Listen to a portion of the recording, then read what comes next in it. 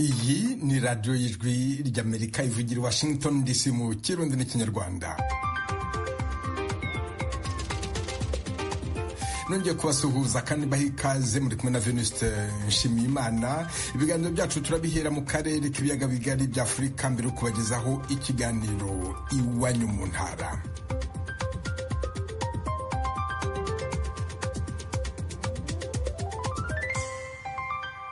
Abagize leta y'uburundi kuri uyu wa gatanu bari mu ntara ya makamba aho basubije ibibazo by'abanyagihugu ibibazo byibanze ahanini ku ibura ry'amafaranga y'amadovize ubukene bwa lisansi na mazutu imipaka ifunze n'ibindi inkuru ijwi ry'amerika yabateguriye yifashishije inshuti zayo mu burundi muragezwaho na thierry ndayishimiye. Ibibazo byishuwe n'abashikiranganje canke abavugizi babo ni ibijanye cane cane n'ubutunzi. Ubukene bw'amafaranga mvamakungu butuma ibikorwa bimwe bimwe bya leta bicumbagira. Umushikiranganje wa mbere Gervain Ndirakobuca yamenyesheje ko ikizokura ubukene bw'amafaranga mvamakungu mu Burundi ari ukugwiza umwimbu w'ivyo abarundi bashora mu mahanga. Odase Niyonzima umushikiranganje w'ikigega ca leta yongeye koko gushora ubutare bizotuma amafaranga mvamakungu yiyongera. Umushikiranganje wa mbere Gervain Ndirakobuca nawe aramwuhirira ati naho ujya butari budahinguriwe ngaha ngo tubushore buhinguriwe ngaha nawe tuzokwama turi mu bibazo. Igikwiye n'ikihe niho amategeko yaragiyeho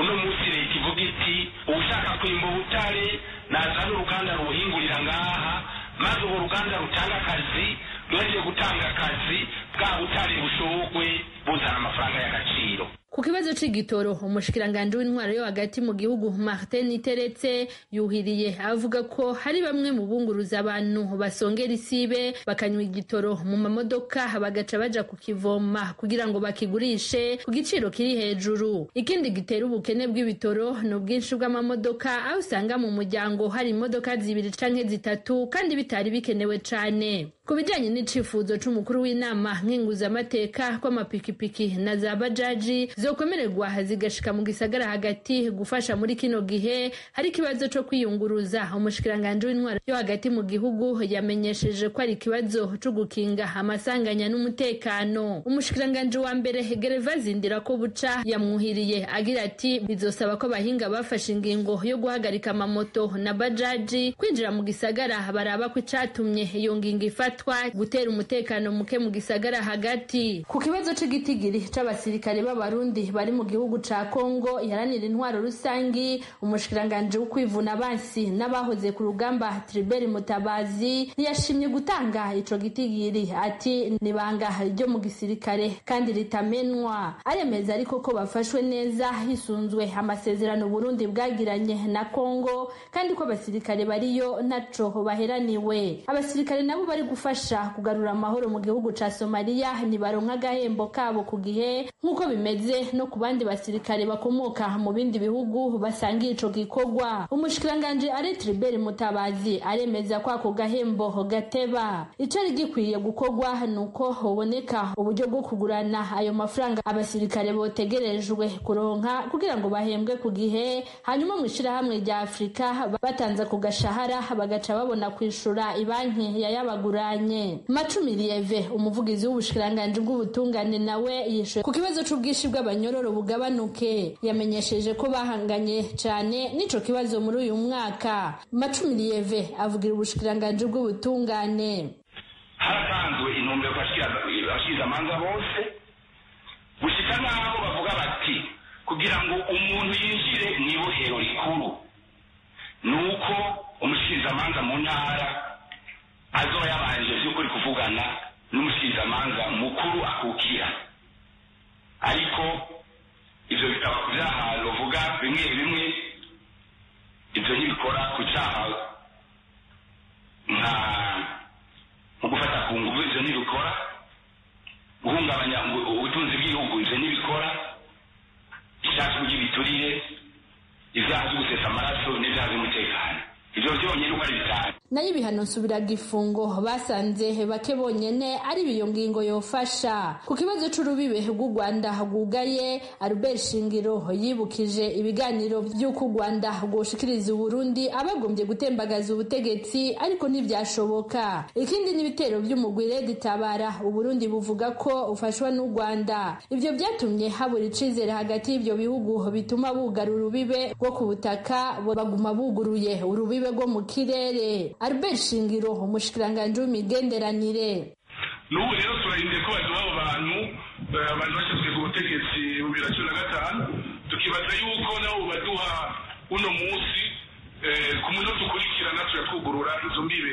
Murumva yuko tutokugura imbibe hakiri abansi bari muri icyo gihugu baba batera baciye ku mugwi w'iterabwoba rede tabara kandi ukwizerana guke hagati ya kongo u rwanda n'uburundi ni byo bituma ishirahamwe sepejere ritagira inama rikamera nk'iryazimanganye. Ku makori bivugwa ko yoba yarongerejwe mu itegeko rishasha ry'amafaranga leta izokoresha umushikiranganji wa mbere gervain ndirakobuca yagize ati leta rero ni cyo gituma rimwe na rimwe niyo ibonye abenegihugu bafise ibibazo amakora mwamwe yaheba.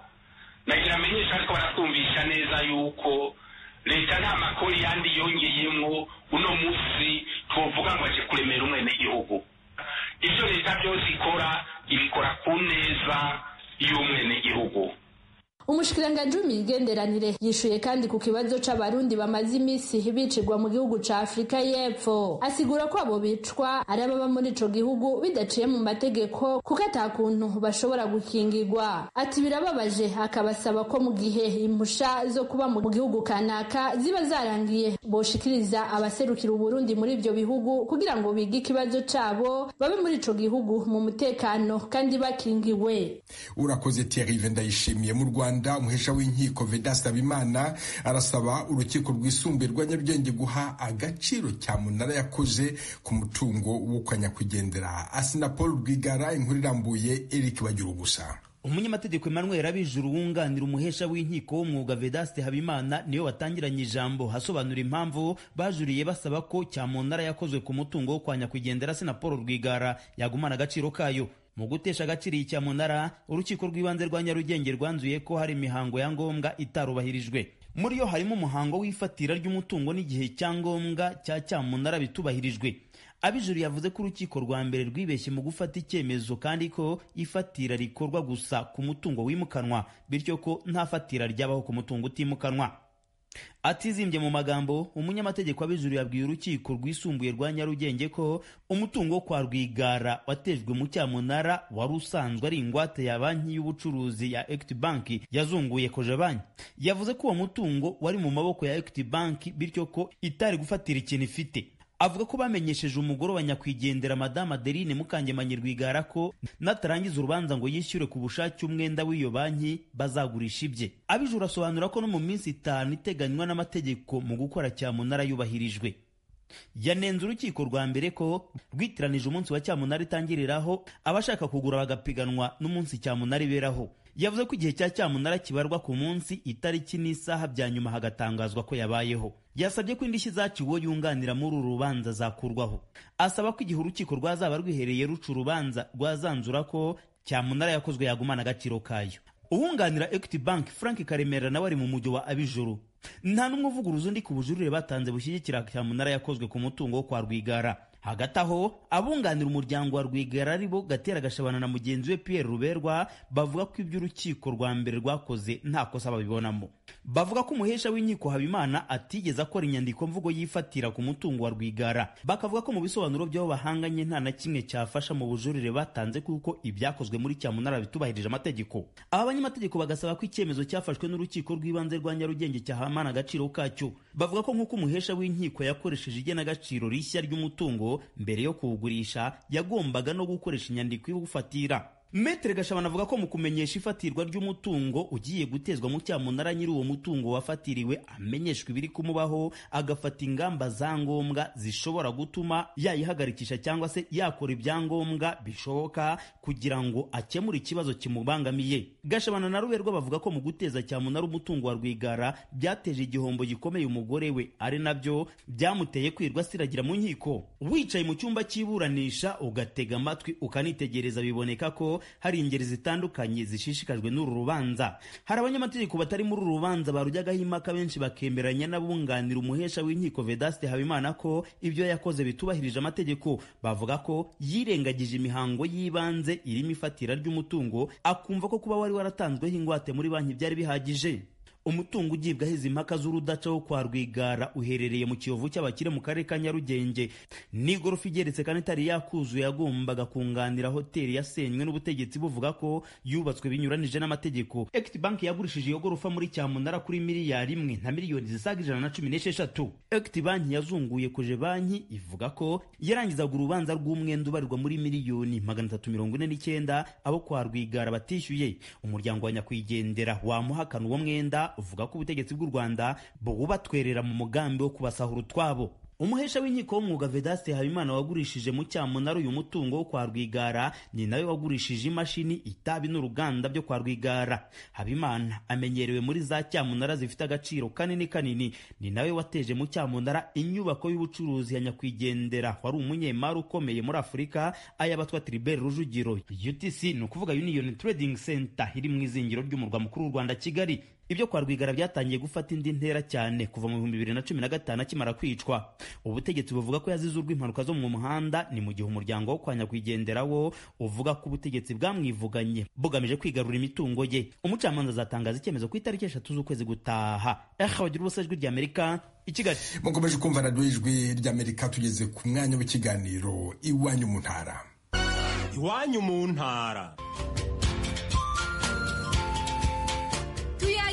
Tuyagire mwisanzuye ku ijwi rya amerika. Ni kuva ku wa mbere gushika ku wa gatanu kuva isaha indwi gushika isaha indwi n'igice z'umutaga. Iwanyu mu ntara iwanyu mu ntara iwanyu mu ntara.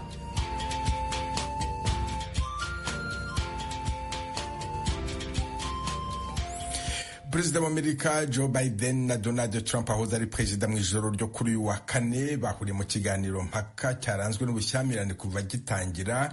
Impaka z'aba bakandida perezida mu kiganiro cyabo cya mbere zibanze ku ngingo z'ubukungu ububanyi n'amahanga uburenganzira bwo gukuramo inda ndetse n'ibijyanye n'abimukira bambuka umupaka wa mexique binjira muri amerika temistokle mutijima iki kiganiro mpaka cyatambukaga kuri televiziyo kirimo kuba cyabereye muri studio ya televiziyo CNN ya Atlanta asa nk'ushinja perezida Biden gusubiza inyuma ubukungu bw'igihugu bwana Trump. Muri iki kiganiro yagize ati tumeze nk'igihugu gikennye cyane ku isi kandi ibyo ni urukozasoni. Ntitucyubashywe na mba batubona nk'ibicucu. Mu gusubiza n'uburakari bwinshi areba Trump mu maso perezida Biden hari aho yagize ati uyu ni we muperezida wa mbere mubi wabayeho mu mateka ya Amerika. Uyu muntu ntasobanukiwe na busa demokarasi ya Amerika. Ikiganiro mpaka cyahuje Biden na Trump habura amezi arenga ane ngo amatora yo ku ya gatanu y'ukwa cumi na kumwe ni cyo kiganiro mpaka cya mbere kibaye hakiri kare cyane mu mateka y'amatora ya manda y'imyaka ine muri Amerika. cyari kandi nk'ukwisubiramo kw'ibiganiro mpaka bibiri byahuje aba bombi mu bihumbi bibiri na makumyabiri byabaye habura amezi abiri ngo Biden atsinde Trump wahataniraga manda ya kabiri ku butegetsi. Iki kiganiro mpaka kimbona nkubone cyo kuri uyu wa kane nicyo cya mbere mu mateka gihuje abaperezida babiri ba Amerika. Kandi ni nabwo bwa mbere Biden na Trump bahuriye mu cyumba kimwe kuva ikiganiro mpaka cya nyuma cyaherukaga kubahuza mu kwa cumi kwa bibiri na makumyabiri kibaye ibigaragaza uburyo bazirana. Trump yasibye irahira rya perezida Biden mu kwa mbere kwa bibiri na makumyabiri na rimwe kandi kuva ubwo bakomeje kujya baterana amagambo yo kunengana harimo no mu kiganiro mpaka cyabahuje mu ijoro ry'uyu wa kane mu minsi yashize Trump yannyeze imyiteguro ya Biden ku bijyanye n'ikiganiro mpaka ndetse avuga ko bizasaba ko abanza guterwa imiti na muganga ngo abashe kurangiza iminota mirongo cyenda y'ikiganiro. Yakunze kuvuga ko Biden atabasha gutondeka n'interuro ebyiri. Icyakora muri iyi minsi ya vuba uyu wahoze ari perezida wa Amerika yahinduye imvugo kuri iyo ngingo. Yari amaze iminsi ateguza abamushyigikiye ko Biden ashobora kuza ari umuntu ukomeye kuruta uko yamugaragazaga nk'umusaza rukukuri bwana trump mbere y'iki kiganiro mpaka yari aherutse gusubiza umwe mu bamubajije kuri iyi ngingo agira ati ndakeka ko azaba ari uwo kujya impaka nawe ubikwiye. Sinshaka kumukerensa. Ku ruhande rwe hagati mu kwezi gushize kwa gatanu mbere gato y'uko iki kiganiro mpaka cyemeranywaho biden yagize ati donald trump namutsinze mu biganiro mpaka bibiri mu wa bibiri na makumyabiri. Kuva icyo gihe ntarongera kwitabira ikiganiro mpaka. Ubu arigira nk'aho ashaka kongera kujya impaka nanjye. Uransekeje nshuti. Nta bantu bakurikiraniye ikiganiro muri studio kandi abakandida bombi ahanini bari baherekejwe n'inkoramutima zabo nkeya. Jill Biden umufasha wa perezida Biden yari muri studio. Melania umufasha wa Trump we ntiyari ahari ariko abarepublikani bashaka kwiyamamazanya na Trump nk'abazamubera visi perezida natsinda bo bari bahari. Mary Trump mwishywa wa Donald Trump witandukanyije nawe nawe yari Atlanta kandi yateganyaga kugaragaza ko ashyigikiye Biden mu kiganiro cya nyuma y'izi mpaka z'abakandida aho aba hafi y'aba bakandida baba bagaragaza uko abakandida babo bitwaye. Aba bakandida perezida babiri bazahatana mu itora rya bibiri na makumyabiri n'ine nibo baperezida bakuze kurusha abandi babayeho mu mateka y'Amerika umudemokarate Joe Biden ubafite imyaka mirongo inani n'umwe y'amavuko naho umurepublikani Trump akagira mirongo irindwi n'umunani. Bombi bafite ibitekerezo bihabanye ku bijyanye n'uko Amerika ikwiye kuyoborwa uhereye mu kwa mbere kwa bibiri na makumyabiri n'itanu ndetse no ku ruhare ikwiye kugira mu mitegekere y'isi nk'igihugu cy'igihangange mu bya gisirikare. Perezida Biden arahamagarira ko Amerika yakomeza ubufatanye bwa hafi n'abanywanyi bayo bo ku mugabane w'Uburayi mu gihe Trump washyigikiye ko Amerika yakwitarura ibindi bihugu Biden yahurije ibihugu byo mu burengerazuba bw'isi ku gufasha Ukraine guhangana n'intambara Uburusiya bwayishojeho mu bihumbi bibiri na makumyabiri n'ibiri. Nyamara Trump we yagaragaje ugushidikanya ku nkunga Amerika ikomeje gutera ingabo za leta ya Kiev. Uyu wahoze ari perezida wa Amerika avuga ko azahita arangiza bwangu iyi ntambara ariko ntagaragaza uburyo azabigeraho. Abakandida bombi bakomeje gushyigikira Isiraheli mu ntambara ihanganyemo n'umutwe wa Hamasi icyakora Biden aherutse kunenga imyitwarire ya minisitiri w'intebe wa Isiraheli Benjamin Netanyahu muri iyi ntambara yo muri Gaza ndetse n'uburyo abanyapalestina bakomeje kuyigwamo. Minisiteri y'ubuzima ya Gaza ivuga ko abarenga ibihumbi mirongo itatu na birindwi biganjemo abagore n'abana bamaze guhitanwa n'iyi ntambara. Perezida Biden yasabye ko haba agahenge ko guhagarika imirwano mu gihe Trump we yavuze ko Isiraheli igomba kugenda igakora ibyo ikwiye gukora byose ngo itsinde Hamasi bwangu amakusanyabitekerezo yo ku rwego rw'igihugu agaragaza ko Biden na Trump mu guhatana benda kuba neza ku rwego rumwe. Abasesenguzi benshi muri politiki ya Amerika bavuga ko abanyamerika babarirwa muri za miliyoni bamaze kubura amahitamo muri aba bombi.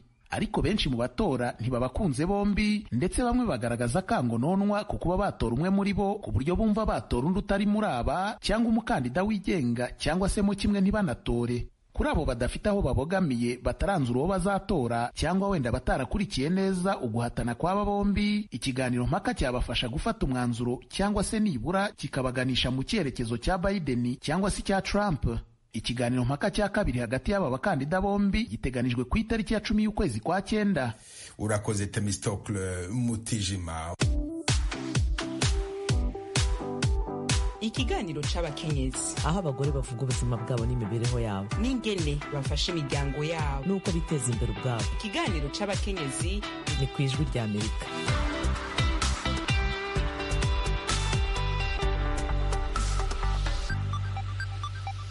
mu kiganiro cyihariye kigaruka ku mibereho y'abari n'abategarugori uyu munsi turanyarukira mu karere ka rusizi mu burengerazuba bw'u rwanda. Hari abagore bakora umurimo wo kwikorera imizigo. Ibyo bamwe bakunze kwita kwisuma ni umurimo ubusanzwe ukorwa n'abagabo nabo b'ibigango. Nyamara aba bagore barenga mirongo itatu bamaze imyaka cumi n'irindwi bawukora. Inkuru ya temistokle mutijima mu masaha y'akaruhuko ka saa sita z'amanywa ku mupaka wa rusizi ya mbere uhuza u rwanda na Kongo itsinda ry'abagore nka batandatu mu mataburiya y'ibara ry'icyatsi kibisi n'ay'ubururu bwijimye baricaye ubona ko basa n'abarimo kuganira. Aba bagore ni bamwe mu barenga mirongo itatu bakora umurimo wo kwisuma imizigo aha ku mupaka wa Rusizi ya mbere. Akazi kabo ka buri munsi ni ugupakurura imizigo yiganjemo imifuka y'ifu n'iy'imyumbati bayikura mu makamyo manini bayishyira mu modoka ntoya na zo zikayambutsa ziyijyana i Bukavu muri Kongo iribagiza Beata umwe muri aba babyeyi arasobanura uko igitekerezo cyo kwinjira muri aka kazi cyabajemo. Nyine urumva benshi twakoraga umurimo wo komotsa forode abacuruzi baguriraga muri kongo bakaduha akazi. Bamara kuduha akazi tukabibomorera tukabyambara umubiri wose tukabizana mu rwanda bakaduhemba. Noneho rero haza kuboneka igitekerezo cyo muri duwani hari abamama bahakoraga b'abaduwanikazi batugira inama y'uko atese ko muri ko abakongomani bafata utuzigo bakatugeza ruguru ku matagisi? Mwe nta buryo mwakishakamo igisubizo mukajya mutukura hano namwe mukatubagereza hariya nabo bakatuzamura ruguru. Nuko twaje guhura twese nyine twihangira uwo murimo wo kwikorera imizigo. Beata na bagenzi be bavuga ko kwinjira muri aka kazi mu ntangiriro bitaboroheye. Ibyo bigaturuka ku myumvire ishingiye ku muco cyane ko yari umurimo wari umenyerewe ku bagabo nabo b'ibigango. Abagabo twari tuhasanze bari bafite amakoperative yabo yo yumvise nyine tugiye kubarya akazi. Bahagurukira kuturwanya ariko kuko leta yari idushyigikiye n'ubuyobozi bwo muri duhani budushyigikiye bwagumye nyine kuturwanirira tugera ku byo twashakaga. Tukigera hano ku mupaka tuje gutwara imizigo natwe ubwacu twayitwaraga twabonaga dufite ipfunwe.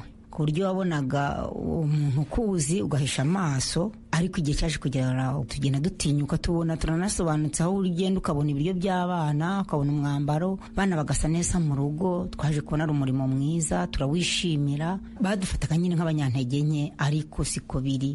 Turashoboye gusa ibyo dushoboye turabishoboye ntabwo dushoboye ngo naterura biriya biri ijana na mirongo itanu kuko imbaraga zirarutana. Ariko birose nkani ndabishobora ku mbaraga zanjye nyine bakanshyira ku mutwe ngatembera. Benshi babonaga turi abanyantege nke bamwe ntibazabyara abandi nyine bajyaga baduca intege ariko kuko twari dufite intego twari tugamije turakomeza buhoro buhoro buhoro buhoro tuza kubona nabo nyine kugeza n'iki gihe tukiri kumwe nabo. Umurimo wo kwikorera imizigo aha ku mupaka aba babyeyi babwiye ijwi rya amerika ko bawutangiye mu mwaka w'ibihumbi bibiri na karindwi. Kuri ubu aha ku mupaka wa rusizi ya mbere habarizwa amakoperative arindwi ahuriyemo abagore n'abagabo bakora uwo murimo. Aya arimo na jyambere mubyeyi ari na yo kabera francina na beatiri bagize ababarizwamo. Aba babyeyi bombi babwiye ijwi rya amerika ko uyu murimo wabagejeje kuri byinshi birimo no kwiyubakira icumbi kuri kabera wari ubayeho akodesha aho kuba n'umuryango we. Gusa sinavuga akazi kata navuga ngo ntaho kamvanye karahamvanye kubera ko nagatangiye mba mu nzu y'ikode. Ubu nibera mu nzu yanjye. Inzu nanjye wayiyubakiye mu mbaraga z'iyi koperative nyine. Ko nagenda mbona amafaranga ndayiyubakira. Abana banjye bariga mbona nta kibazo. Aka kazi karadufashije kuko ukurikije ukuntu twari twatangiye dutwara utwo tuntu ndibuka ko bwa mbere twahembwa abiri n'itanu y'ibiceri. Tugenda dutera imbere baduha imodoka tugera aho tugera ku madepo y'amafu. Uko bagendaga baturwanya ariko na leta igenda idushyigikira bavuga ati ababyeyi bemeye gukura amaboko mu mufuka bagakora nta mpamvu yo kutabasangiza akazi. Twagendaga nyine tubona bizacamo. Muri iki gihe hari umwuka mubi mu mibanire y'ibihugu by'u rwanda na kongo biturutse ku ntambara y'umutwe wa ma makumyabiri na gatatu. Biraboneka ko imirimo myinshi n'ubucuruzi bwakorerwaga ku mupaka kimwe n'urujya n'uruza rw'abantu n'ibicuruzwa hagati y'ibi bihugu byombi byahungabanye cyane. Uyu mwuka mubi wateje ukwishishanya hagati y'ibi bihugu bituranyi ku buryo namwe mu mabwiriza yoroherezaga ubuhahirane hagati y'abaturiye imipaka nko kwambuka hakoreshejwe ikarita ndangamuntu yagiye avanwaho. Kuri aba babyeyi naho ibyo byagabanyije cyane akazi babonaga. Byaraduhungabanyije cyane kuko urumva niba naravaga nkajya muri kongo ngagira utwo nomorera umukongomani kuri ubu ntibyemewe. Ubwo rero urumva niba nari bucyure magana atanu ubwo ndaza gucyura igiceri cy'ijana kuko nta kandi kazi ndi bubone amadepo arafunze nta muvoma urujya n'uruza mbese dupakura k'akamodoka kaje ubwo iyo kataje nyine turashumera. Kuko nimba narabashaga gucyura bibiri bitatu bine bitanu none ubu nkaba nisanga muri magana atanu igihumbi ubona twaragiye hasi cyane. Urumva icyo gihe twabonaga akazi tukijyana ingorofani muri kongo n'abakomani baza bakagurira i rwanda nyine ukabatwaza ukabona amafaranga. None ni ugutegereza izava i kigali. Yitaje urataha. Icyizere cy'uko akazi kabo kasubira kugenda neza nk'uko byahoze aba babyeyi bagiteze kuba igihe ubu kibuditse mu mibanire y'u rwanda na kongo umunsi umwe cyazeyuruka. Naho kuri bagenzi babo bacyumva ko hari imirimo batakora aba babyeyi babafitiye ubutumwa. Nababwira ko batinyuka bagakora kuko akazi kose turagashoboye. Nta murimo ugihari w'umugore nta murimo ugihari w'umugabo buri wese yatinyuka agakora. Ni n'aha dusoreje ikiganiro cyacu cyihariye ku mibereho y'abagore cya none. Na ritemistokle mutijima mukomeze kugubwa neza na gahunda za radiyo ijwi rya amerika. Iwanyu mu ntara. Mu burundi hirya no hino mu ntara ibinyobwa bikorwa n'uruganda brarudi bikomeje kuba bike. Ababicuruza ntibabibona ku bwinshi n'abaguzi bagahendwa. Hamwe na hamwe utubari twarafunze inkuru. Ijwi ry'amerika bateguriye yifashishije inshuti zayo mu burundi mwagezwaho na thierry vendayishimiye. Iruhande y'abo badandaza abihereza ibyo binyobwa nko mu gisagara c'ubutunzi bujumbura bavuga ko kwizimya inyota muri kino gihe bitoroshe. Bagasigura ko abo bakubise ijisho ikinyobwa ca brarudi bakigura umurengera. Je nka jewe nihereza akanyobwa amuseri mugabo amuseri kugira ngo uyironke n'akabari wowe ushobora kuja mu ukakironka ico kinyobwa. Amuseri wigeze ku bihumbi bitanu bine n'atanu bine hamwe hamwe. Urumva ko buraseri ntawe uzi ikibazo byaba byarahuye naco kugira ngo abanyagihugu tubure ivyo binyobwa. Ugeze ku migwa mikuru y'intara z'uburundi zitandukanye ubona ubunywero bwinshi bwugaye kubera iryo kina ry'ibinyobwa bya brarudi abadandaza b'ibyo binyobwa bakavuga ko ikena ry'ibyo binyobwa ririko riratuma bakora bahomba. Agahombo kanini kuko turashobora gukora ntushobora kureba ingene ushobora guhemba abakozi haba n'amarwayi ugasanga ni ikibazo. Igikoni biragira ingaruka mbi kuko iyo umuntu aje kugura akaburushete bisaba yuko aronka n'akantu ashobora kunywa kandi ikinyobwa icyo ari cyo cyose yipfuza apana icyo abonye icyo ari cyo cyose. Mw'iki gihe rero kubera izi nzu dusanzwe dukoreramo zisanzwe zizimvye makori ya obeyeri kumuriha turiha obeyeri tukariha na meri. Mwene impangu bene izi mpangu zisanzwe zinazimvye izi mpangu zo mw'irohero. Tuguma turiko turariha ku itariki urumva rero n'ikibazo usanga umuntu ariko akorera mu buhombe gusa. Ku mugwa mukuru w'intara ya bururi turi mu bumanuko bw'uburundi ku kubura ibinyobwa bya brarudi bari bamenyereye abanywanyi b'iryo hinguriro bihereza muri kino gihe ibinyobwa bikaze nka sapo wine n'izindi biri mu macupa atameneka. Ababa ku mugwa mukuru w'iyo ntara bakavuga ko ibyo binyobwa biriko bigira ingaruka mbi ku babyihereza. Ingaruka mbi ihari ni uko abantu usanga ataco bimarira itondo ugasanga baragoyagoye kandi ivyo biyoga babinywa amasaha yose. Kuko n'akantu umuntu atekera mu mufuka. Hanyuma ugasanga no gutaha ntibagitaha barambarara mu nzira izo bangara dusaba yuko bozikura kubera zica abantu ku bwinshi. Ziratwica n'ukuri kw'imana kubaho no mu ntara z'uburaruko bw'uburundi abahora bihereza primusi ndende canke ngufi amositeni ndende canke ngufi n'izindi zihingurwa na brarudi batandukiriye inzoga ziva hanze y'igihugu zikaze cane. Mu bisanzwe ico baca bihereza urumva ko ari za nzoga nyene birirwa baracisha ku marezo sosiyo mu burundi ko zibangamiye amagara y'abantu ari nka za kiki ari nka za saporo ari nka za savana n'izindi n'izindi ntiriwe ndavuga. Kandi urumva zirabangamiye amagara y'abantu kuko ugerageje kuraba abazihereza urabona ko ubuzima bwabo butifashe neza. No mu ntara ya cibitoke iri mu buraruko bushira uburengero bw'uburundi niko kuko. Ababa ku mugwa mukuru w'iyo ntara bavuga ko ibinyobwa abantu bijukiye byitwa sapo wine kike n'izindi bapfa kuzinywa batazi n'ingene zihingurwa. Erega nubwo birafise ingaruka mbi ukanyoye konyene kuko bahora ukanwa kavanze n'urwagwa ariko ku buryo umutima uca utangura gutera nabi urumva navyone si vyiza ukanyoye konyene ego nivyo arabangamiga kubera ivyo bintu tutamenyereye utazi n'ingene izo nzoga zambigwa urumva nazone ziratutera ibibazo. Baba bari basanzwe badandaza ibinyobwa bihingurwa na brarudi baba bahora bihereza ibyo binyobwa nta kindi basaba. Nuko iryo hinguriro ryotorera umuti ingorane rifise kugira ngo risubire ku murindi ryahorako buraseri twoyisaba icyo yokora yuko yokongereza ingufu igakora nk'uko yahora kera kugira ngo abanyagihugu tureke kuguma tujuragirika bivanye n'uko tuboba turiko turaza kurondera icyo kinyobwa. Dusaba yuko bogerageza uko bahora babikora tukora ko amaproduwi yose ashobora kuboneka kugira ngo dushobore gutunganiriza uwo ari we wese uwahora ahurumbira ngaha kuri aka kabari ko ku mpene ashobore kubandanya nk'uko vyahora uburongozi bwa brarudi bumenyesha ku rubuga rw'iryo shirahamwe ko ako kamo k'abanywanyi gatahuritse. Ariko bakamenyesha ko ikibazo bafise ari ikibazo c'igihugu kijanye n'ikena ry'amafaranga y'agaciro mvamakungu. Urakoze Thierry ndayishimiye radiyo y'ijwi ry'amerika mu kirundi n'ikinyarwanda mudukurikira no kuri facebook na youtube voa radiyo yacu naho kuri interineti ni wa eshatu akadomo radiyo yacu voa akadomo com ibiganiro byacu birakomeje. Umunsi mwiza mwari kumwe na venuste nshimiyimana.